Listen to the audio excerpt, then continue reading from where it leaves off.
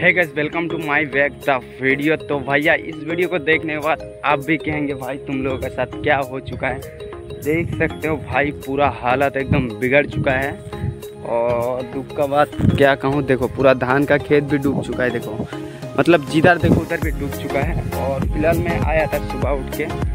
और अचानक एक दिन, पूरा दिन भर बारिश आने का बाद ये सो गाइस और एक एक चीज़ दिखाना भूल गया मैं। मैं हमारा सड़कें दिखाता हूँ। देखो, कितना सुंदर और इतना अच्छा तो सड़क होता नहीं किसी तो देखो, ये देखो मिट्टी का सड़क।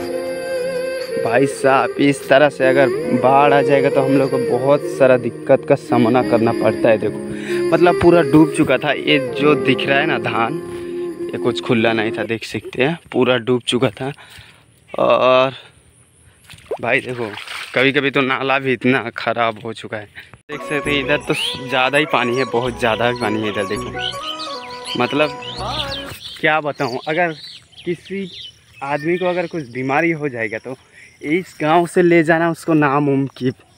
नामुमकिन एक ही बार में, सीधा वो चला जाएगा।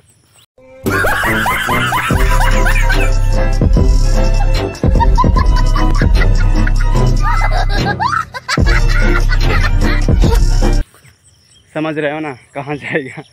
और सड़कें देखो भाई साहब सड़कें मस्त है एकदम बिल्कुल सुपर कहना चाहता हूँ मैं। अगर अगर हम्म, तुम लोगों को बता दिया अगर कोई पेशेंट अगर इस गाँव से अगर बाहर जाता है तो उसको लीगल से मतलब हंड्रेड परसेंट कह सकता हूँ कि वो ज़िंदा बचेगा ही नहीं। साला रास्ता भी ऐसा रहेगा तो कोई पेशेंट यहाँ से जा पाएगा। तुम लोग ही बताओ यार। तो फाइनली बाढ़ का दिक्कत का सामना करना पड़ता है, देखो हम लोगों को। मतलब हर साल ऐसा ही होता ही रहता है। ये था गाँव का नज़दीक वाला, देख सकते हैं, इधर भी पूरा भर चुका है, पानी पानी, पूरा गाँव। अगर मैं घूम के देखूँ तो भाई सब क्या बताऊँ, पूरा पानी एकदम।